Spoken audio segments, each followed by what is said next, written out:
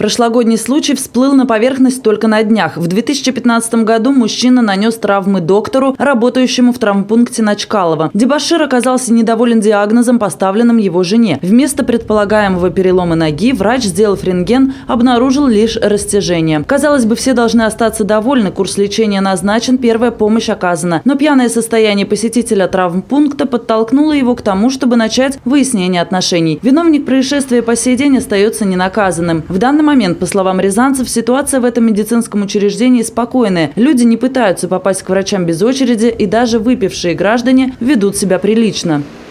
Все спокойно. Все спокойно. Никаких Не знаю, такого не видела. Нет, нет, нет, все тихо, спокойно. Сейчас адекватно себя пациенты ведут. Но однажды я давным-давно, не знаю, годик назад был в травмпункте и обратил внимание, что у них там внутри кабинетов ремонт, а снаружи очень все страшно выглядит. Я спросил, а почему же вы себе сделали ремонт, а снаружи такое так плохо? Они говорят, а для, для кого там делать? Э, Вы видели, какой у нас контингент здесь приходит? Вот только что, вот, говорит, за пять минут милицию вызывали.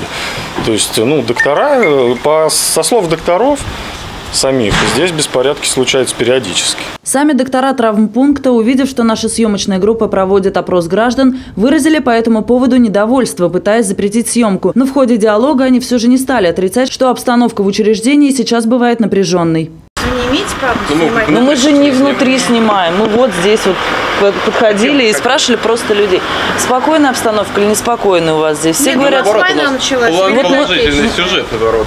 Что касается контингента, в травмпункте он бывает разнообразным. Выпившие пациенты не редкость для этого места. Врачам приходится работать и с такими людьми, что совершенно небезопасно для медиков. Но хуже пьяных граждан скорее могут быть только наркоманы. 28 июня этого года на одном из выездов скорой помощи медики столкнулись именно с таким персонажем. Мать молодого человека, страдающего от наркотической зависимости, вызвала домой скорую, посчитав, что врачи могут помочь ее сыну. Он требовал сделать укол препарата с содержанием наркотического средства. Медики ему в этом отказали. После этого от молодого человека последовали прямые угрозы. Он обещал убить докторов. Одновременно с этим требовал деньги у матери на наркотики. Ситуация накалялась, и взволнованный пациент вскочил с дивана, схватил гантелю и нанес ей удар прямо в лицо доктора скорой помощи. На сегодняшний день врачу была проведена сложнейшая операция с привлечением хирурга из Москвы. Нападавший же молодой человек находится под подпиской о невыезде. От рук нетрезвых людей страдают не только медики. Простые граждане на улице тоже не застрахованы от инцидента. По словам очевидцев, в этот понедельник на площади Свободы на пешеходном переходе выпившие мужчины лет 40 и женщина лет 30, переходя дорогу, устроили потасовку с водителем одной из машин. Автомобиль двигался по переходу, когда молодые люди решили перейти дорогу. Им не понравилось, что машина не остановилась, не пропустила их. Машина двигалась медленно, и пара начала бить кулаками по кузову.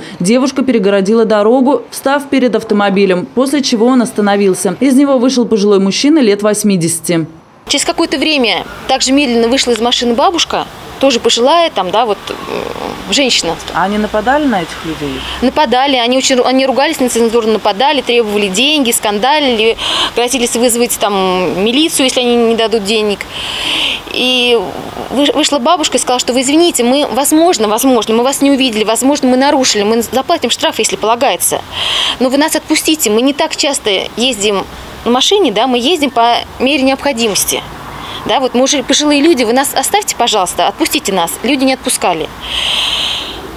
Никакие доводы ну, не, не помогали. Машина проехала дальше, в принципе, Не- ничего, ничего не было. произошло.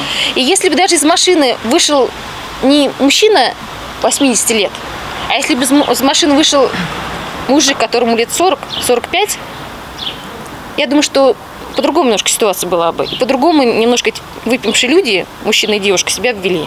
За пожилую пару заступились прохожие, и через некоторое время нападавшие все же оставили автомобилистов в покое. Никто серьезно не пострадал. Вывод напрашивается только один. Если граждане выпивают, им необходимо стараться вести себя прилично, уважать окружающих и применять свою силу в мирных целях. Ведь от рук пьяных дебоширов порой могут пострадать ни в чем не повинные люди, у которых есть свои дела, свои семьи, своя работа.